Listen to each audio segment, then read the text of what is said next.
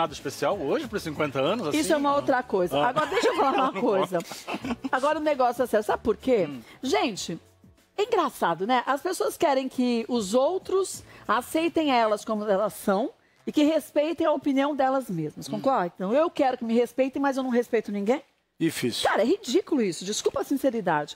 O Jairo falou há pouco que não gosta, não torce pelo Davi. pelo Davi. E ele tá no direito dele. Agora tem gente falando um monte porque diz que não torce. Cara, ridículo.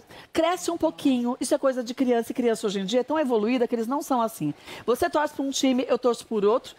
Eu não torço para nenhum. Mas a gente tem que se respeitar. Eu acho que respeito é a base de tudo. Isso é um reality, gente. Tem gente que briga por causa de político, tem gente que se mata por causa de político, tem gente que bate e se mata também, ou mata alguém, porque a pessoa não concorda com a sua opinião. Vamos crescer, que está na hora? Vamos. Tem tanto problema para a gente resolver, mundial e também dentro do nosso país. Não cabe a gente ficar ofendendo as pessoas, porque elas têm uma opinião diferente da nossa. Se você se pega fazendo isso, mais uma vez fica a dica aí, hashtag fica a dica, busque uma ajudinha psicológica que ajuda bastante, porque isso não é correto não é normal. Eu amo demais o Ravioli e sei que ele me ama, mas a gente não concorda em tudo. tudo. Não é verdade? Verdade. Eu amo demais o Alex, tenho certeza que ele me ama, mas a gente não concorda com tudo. Verdade. Jairo, eu conheci ele hoje.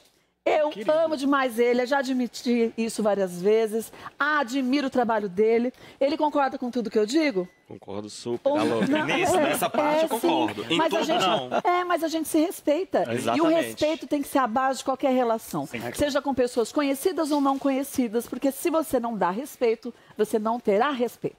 É Imagina. basiquinho. né? Imagina isso acontecer só. Eu acho que a internet possibilita isso, né? Não Essa é. agressão É, virtual. as tempo Posso inteiro. falar? Eu acho que a assim, por causa de política, por causa de reality show. Gente, reality show. É, mas eu não acho que é por causa de internet. Sabe o que eu acho? Não, eu acho que facilita a Não, elas já eram assim. É, é. A gente só não tinha contato com tanta gente. Graças a Deus que 99,9% São das boas. pessoas são pessoas super legais que até vão lá e falam Boa. assim: não concordo com você, mas eu gosto de tudo o resto.